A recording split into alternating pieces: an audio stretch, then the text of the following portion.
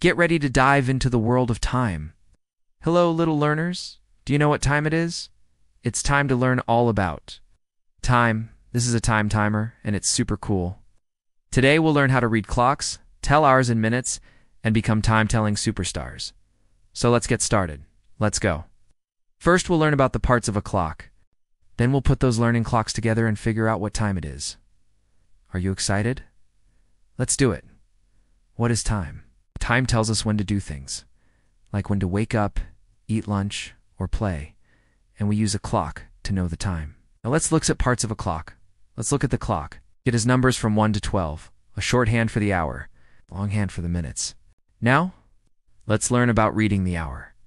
The shorthand on the clock tells the hour, and the long hand on the clock tells the minutes.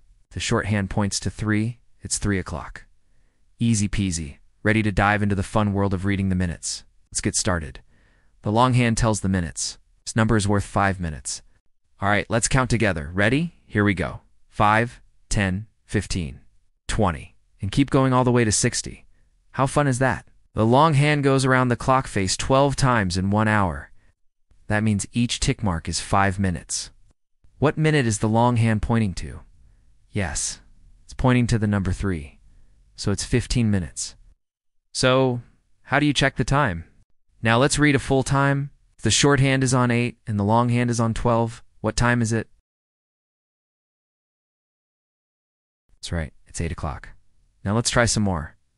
What's the time, by the way? Yes, 5 o'clock. What about this one?